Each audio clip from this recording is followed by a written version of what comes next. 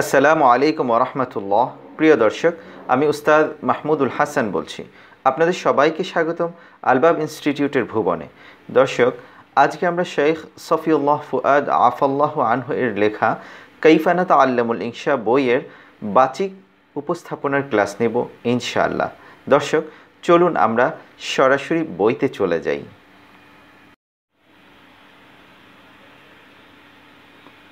কীভাবে পাঠদান করবেন?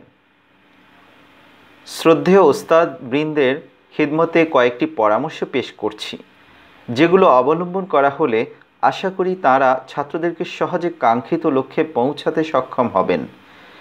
পূর্বে বলা হয়েছে, কাইফানাত আল্লামুল ইনশা সিরিজের এ খণ্ডের লক্ষ্য হল প্রাথমিক স্তরের আল ইনশা উল আরবিউ চর্চার জন্য সরফনাহ এর যে সমস্ত কায়দা অধিক প্রয়োজন সেগুলোর প্রায়োগিক ও রচনামূলক অনুশীলন করা, যেন অধিক ব্যবহৃত জুমলাসমূহে অধিকাংশ কাঠামো ছাত্রছাত্রীদের আয়ত্তে এসে যায়।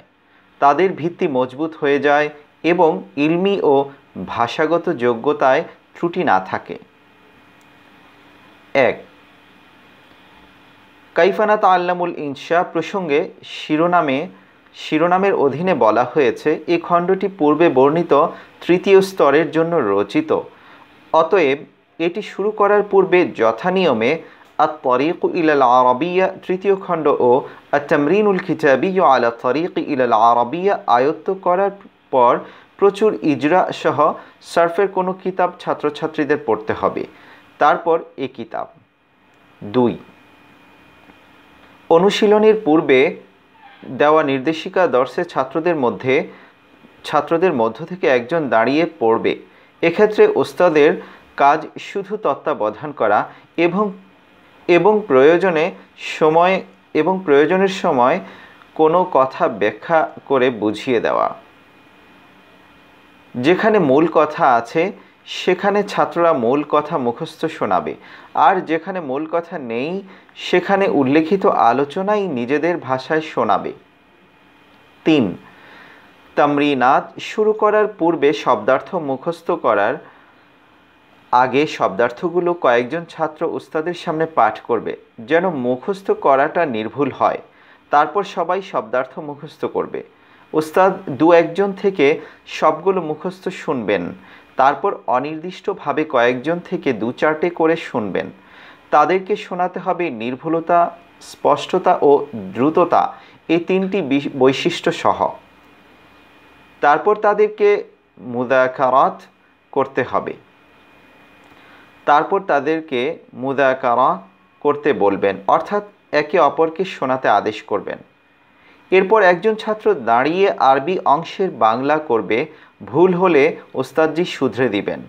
তিনি নিজে বাংলা করবেন না তদ্রূপ বাংলা থেকে আরবি অনুশীলনীতে একজন ছাত্র বাংলা অংশের আরবি করবে, ভুল হলে উস্তাদজি শুধরে দিবেন। তিনি নিজে আরবি করবেন না। এভাবে আরও দু একজন থেকে অনুবাদ শ্রবণ করবেন এবং তাদেরকে ভুলগুলো সংশোধন করে দিবেন। অন্যান্য ছাত্ররা মনোযোগ সহকারে শুনবে। তারপর সকলকে এভাবে কয়েকবার পাঠ করার নির্দেশ দিবেন। এরপর তাদের থেকে পড়া শুনবেন।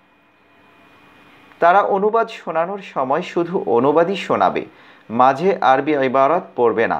ইবারতে আঙুল রেখে উস্তাদজিকে বাংলা অনুবাদ এভাবে শোনাবে যে, মনে হতে হবে তারা যেন বাংলা কোনো বই পাঠ করছে।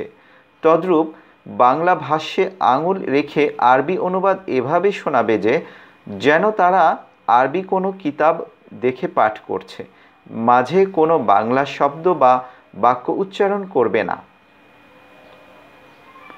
তারপর উস্তাদজি ছাত্রদেরকে মনোযোগ সহকারে ইবারত বারবার পড়ার তাগিদ দেবেন, বারবার পড়ার তাকিদ দিবেন, যেন আরবি শব্দ ও বাগধারার সঙ্গে তাদের পরিচিতি মজবুত হয়ে যায়।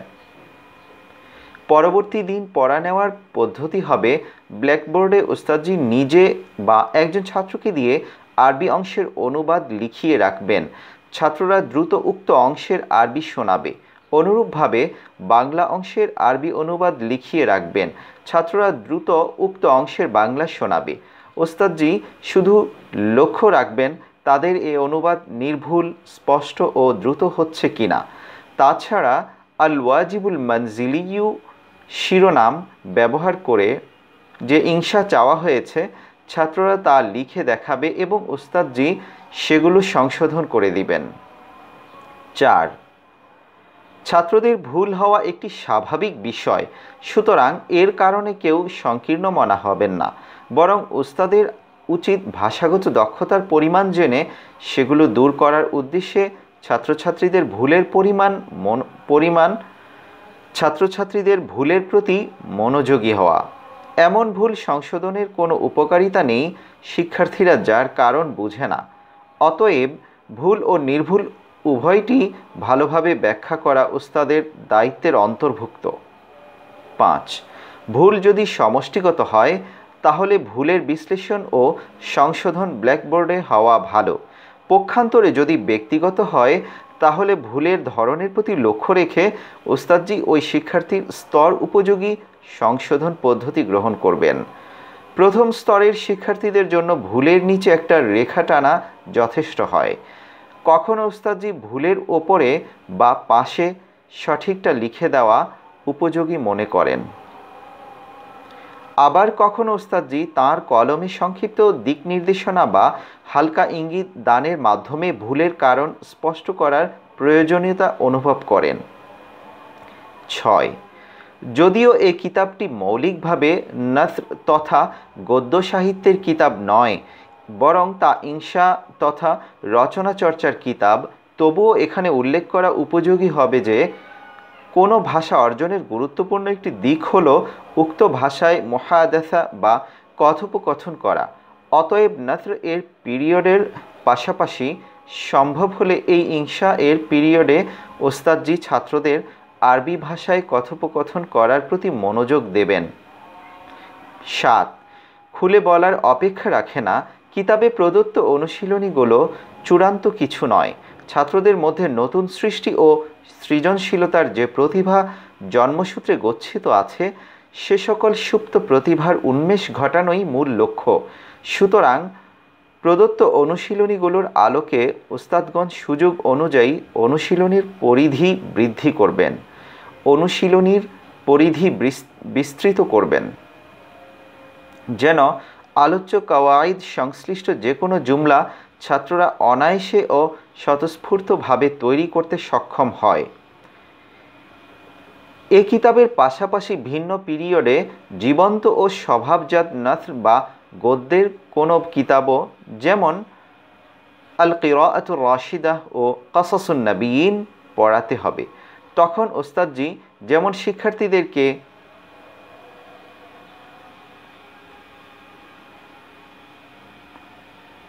এক। আল্লাহর শুকর আল কিরাতুর রাশিদা সিরিজের খণ্ড তিনটি, কাসাসুন নবীন সিরিজের খণ্ড পাঁচটি এবং একই মুসান্নিফের মুখতারাত মেন আজাবিল আরব কিতাবের খণ্ড দুটিও এ লেখকের সযত্নে প্রকাশিত হয়েছে। আল্লাহ কবুল করুন। আমিন।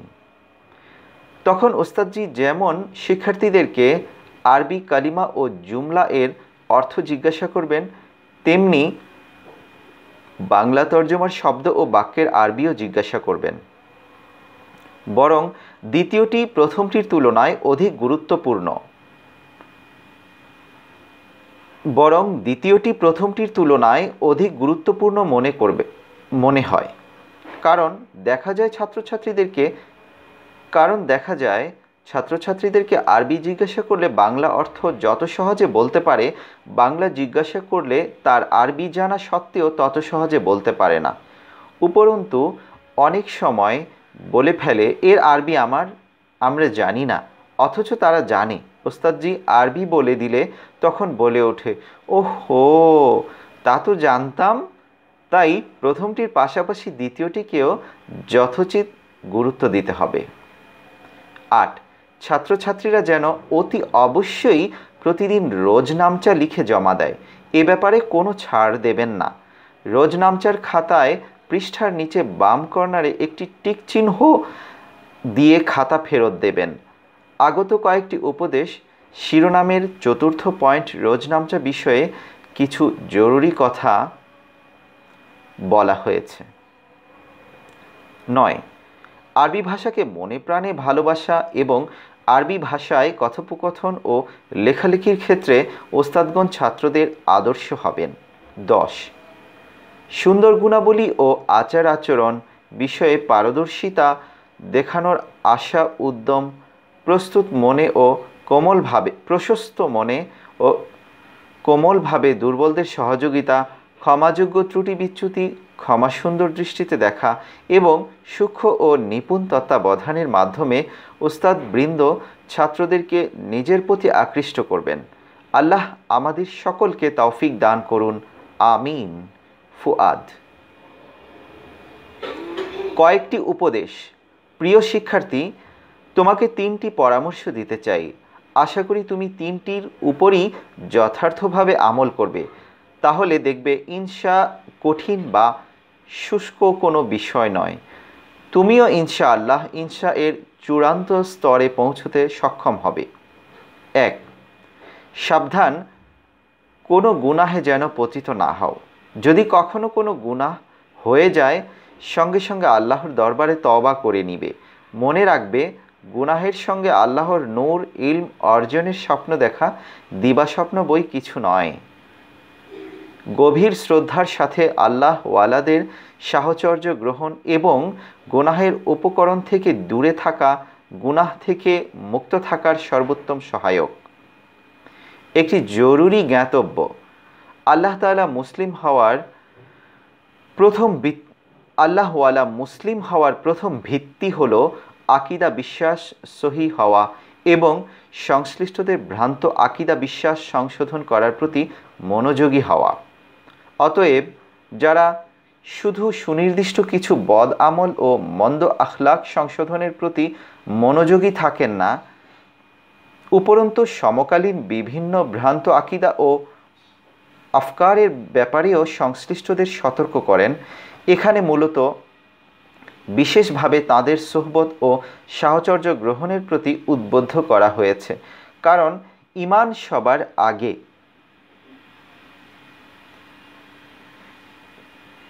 إن الله لا يغفر أن يشرك به ويغفر ما دون ذلك لمن يشاء ومن يشرك بالله فقد افترى إثما فقد افترى إثما عظيما নিশ্চয় আল্লাহ তার সঙ্গে শরিক করা ক্ষমা করবেন না এবং এছাড়া অন্যান্য গুনাহ যাকে ইচ্ছা ক্ষমা করবেন। আর যে কেউ আল্লাহর সঙ্গে শরিক সাব্যস্ত করল, সে ভয়ানক অপবাদ আরোপ করল। নিসা আটচল্লিশ। সমকালীন কয়েকটি ভ্রান্ত আকিদা নিম্নরূপ। গণতন্ত্র, সমাজতন্ত্র, ধর্মনিরপেক্ষতা, জাতীয়তাবাদ, অসাম্প্রদায়িক চেতনা মুক্ত চিন্তা মডারেট ইসলাম দুই, দর্শে দেওয়া বাড়ির কাজ প্রতিদিন এতটাই গুরুত্বের সাথে সম্পাদন করবে যেন আগামীকাল তোমার পরীক্ষা, এরপর মানিল মুফরাদাত বা শব্দার্থের আলোকে সামনের পাঠ মোতালাহ করবে। কোনো অবস্থাতেই দর্শে বসা যেন মোতালাহ ছাড়া না হয়। তিন, এ কিতাবের প্রাত্যহিক কাজগুলো যথাযথ সম্পাদন করার পর এ বিষয়ে আরও অগ্রসর হওয়ার জন্য যতটুকু অতিরিক্ত সময় পাবে তা কিতাবের সামনের দর্শগুলোর পাঠে ব্যয় করবে। এ খণ্ড সমাপ্ত হয়ে গেলে সময় ব্যয় করবে পরবর্তী খণ্ড পাঠে। কতটুকু তোমার ব্যক্তিগত চেষ্টায় পড়েছ আর এবং তার কতটুকু উস্তাদের নিকট পড়েছ, এমন দুটি পৃথক হিসাব যেন থাকে। যুগের ইমাম আল্লামা আনোয়ার শাহ কাশ্মীরি রাহিমাহুল্লার একটি প্রসিদ্ধ ঘটনা হলো দাওরাই হাদিস পড়াকালে একবার অসুস্থতার কারণে তিনি অনেক দিন সহি বুখারির দর্শে উপস্থিত হতে পারেননি। সুস্থ হওয়ার পর দর্শে উপস্থিত হয়ে দেখেন, ওস্তাদজি হজরত শেখুল হিন্দ মাহমুদুল হাসান দেওবন্দি রহিমাহুল্লাহ পাঠদান তখনও সেখানে পৌঁছেননি। যে পর্যন্ত সহি বুখারির ব্যাখ্যাগ্রন্থ ফাতহুল বারি কিতাবে, কিতাবের তার মোতালা হয়ে আছে। মোট কথা, প্রাত্যহিক কাজগুলোর পর বাড়তি যে সময়টুকু পাবে তা সামনের দর্শগুলো পাঠে এবং খণ্ড সমাপ, দর্শগুলো পাঠে এবং এ খণ্ড সমাপ্ত হয়ে গেলে দ্বিতীয় খণ্ড অধ্যয়নে ব্যয় করবে। ওস্তাদের সহযোগিতায় তোমার উপযোগী আরবি সাহিত্যের বিভিন্ন কিতাবও পাঠ করবে। যেন ক্রমান্বয়ে কাসসুন্নবীন ও আল কিরাআতুর রাশিদা সিরিজের কিতাবগুলো হৃদয়ঙ্গম করে অধ্যয়ন করবে। যেমন ক্রমান্বয়ে কিসাসুন্নবীন ও আল কিরাআতুর রাশিদা সিরিজের কিতাবগুলো হৃদয়ঙ্গম করে অধ্যয়ন করবে। পঠিত অংশের আদর্শ জুমলাগুলো খাতায় নোট করে মুখস্থ করে নিবে। যেন প্রয়োজনের সময় সেগুলো দ্বারা উপকৃত হওয়া যায়। কোনো শব্দের বা বাক্যের অর্থ অথবা অনুশীলনের কোনো দিক যদি অস্পষ্ট হয়ে দাঁড়ায়, তাহলে অলসতা করে অন্য সময়ের জন্য রেখে দিবে না। বরং যখনই কোনো শিক্ষক অথবা তোমার চেয়ে ভালো জানে এমন কোনো সহপাঠীর শরণাপন্ন হবে।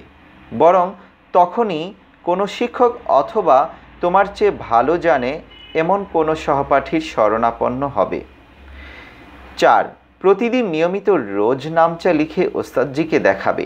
ডান দিকের পৃষ্ঠায় উপরে ডান কর্নারে এবং বাম দিকের পৃষ্ঠায় উপরে বাম কর্নারে হিজরি তারিখ, ইসাই তারিখ ও বারের নাম লিখবে। পৃষ্ঠার নিচে নিজের নাম লিখবে। ওস্তাদজি নিজের ওস্তাদজি নিচের বাম কর্নারে একটি টিক চিহ্ন দিয়ে খাতা ফেরত দেবেন। স্মরণ রাখবে, এ কিতাবে, স্মরণ রাখবে, এ কিতাবের তামরিন করা দ্বারা তোমার মধ্যে লেখার যোগ্যতা সৃষ্টি হবে না। এ কিতাবের তামরিনগুলো প্রধানত লেখার ভুল সংশোধন করা এবং ক্রমান্বয়ে লেখা মানোত্তীর্ণ করার জন্য। নিজের মধ্যে স্বতঃস্ফূর্ত লেখার যোগ্যতা সৃষ্টি হওয়ার জন্য নিয়মিত রোজনামচা লেখার বিকল্প নেই। রোজনামচা কীভাবে লিখতে হয়, তা না জানার, তা না জানার অভিযোগ যাদের আছে, তারা এসো কলম মেরামত করি। বইয়ের দশম অধ্যায়ের হাতে কলমে রোজ নামচা শিরোনামের প্রবন্ধটি কানে বাজিয়ে কয়েকবার পড়ে নিবে। আল্লাহ আমাকে ও তোমাকে সকল কল্যাণের তৌফিক দান করুন। আমিন। আমাদের মাদ্রাসা মহলে এই ভুল ধারণা শিকড় গেড়ে বসেছে যে প্রাচীন আরবি ভাষা এখন হাদিস, তাফসির ও ফিখের পরিমণ্ডলেই সীমাবদ্ধ। এর বাইরে তার বিচরণ নেই। পক্ষান্তরে আধুনিক আরবি নামে নতুন এক ভাষা আত্মপ্রকাশ করেছে, যার সঙ্গে দিন ও ধর্মের কোনো সম্পর্ক নেই। এই মারাত্মক ভুল ধারণার শিকার হয়ে আলেম ও তালিবে ইলম সমাজ আরবি ভাষা চর্চার প্রতি নিরুৎসাহিত হয়ে পড়েছেন। কিন্তু আমার উপর যদি আপনারা আস্থা রাখতে পারেন, তাহলে আমি পূর্ণ দায়িত্ব সচেতনতার সঙ্গে বলতে চাই যে, তথাকথিত আধুনিক আরবির কোথাও কোনো অস্তিত্ব নেই। আরব বিশ্বে লেখক সাহিত্যিকদের কলমে এবং জ্ঞানীগুণীদের মজলিসে যে ভাষা ব্যবহৃত হয়, তা কোরআন, হাদিস এবং জাহিলিয়াত ও ইসলামী যুগের ভাষার নিকট থেকে নিকটতর ভাষা। এমনকি আধুনিক যুগের দাবি ও প্রয়োজন পূরণের জন্য তারা আরবি ভাষার প্রাচীন ভাণ্ডার ও কোরআন, হাদিস থেকেই শব্দ সংগ্রহ করেছেন। এ বিষয়ে তারা যে অনন্য সাধারণ খেদমত আঞ্জাম দিয়েছেন, তা যেমন বিস্ময়কর, তেমনি প্রশংসাযোগ্য। সৈয়দ আবুল হাসান আলী নদাবি রাহিমাহুল্লাহ। জীবনের লক্ষ্য। শিক্ষা ও গবেষণার ক্ষেত্রে আমি হব একজন ধীমান ও বিদগ্ধ গবেষক। রচনা ও সাংবাদিকতার অঙ্গনে একজন শক্তিশালী লেখক ও সাংবাদিক। যুদ্ধের ময়দানে একজন বীর ও বিচক্ষণ সেনাপতি। সমাজ সংস্কারের প্রাঙ্গণে একজন প্রাজ্ঞ সংস্কারক। সেবার ক্ষেত্রে জনদরদী সেবক। তাজকিয়ার মহলে অন্তরালোক। তাজকিয়ার মহলে অন্তরালোক সম্পন্ন মুসলিহ ও মুজাক্কি। ইনাবাত ইলাল্লার ক্ষেত্রে সবিনয় দোয়াকারী এবং খৌফে ইলাহির তাড়নায় প্রকম্পিত এক বান্দা। উল্লিখিত লক্ষ্যসমূহ, উল্লিখিত লক্ষ্যগুলো অর্জনের জন্য প্রয়োজনীয় পর্যাপ্ত দিক নির্দেশনা লেখকের শিক্ষার্থীদের সফলতার রাজপথ। শিক্ষার্থীদের সফলতার রাজপথ ও লেখাপড়ার আদর্শ পদ্ধতি। বই দুটিতে পাওয়া যাবে। উল্লিখিত লক্ষ্যগুলো অর্জনের জন্য প্রয়োজনীয় পর্যাপ্ত দিক নির্দেশনা, লেখকের, শিক্ষার্থীদের সফলতার রাজপথ ও লেখাপড়ার আদর্শ পদ্ধতি বই দুটিতে পাওয়া যাবে। আজ এখানেই শেষ করছি। প্রিয় দর্শক, আমাদের ভিডিওগুলো উপকারী মনে হলে দয়া করে লাইক, শেয়ার ও কমেন্ট করবেন। আর আমাদের নতুন নতুন ভিডিওর আপডেট পেতে চ্যানেলটি সাবস্ক্রাইব করে সাথেই থাকুন। আল্লাহ সবাইকে ভালো রাখুন। আসসালামু আলাইকুম রহমতুল্লাহি ওবরাকাতুহ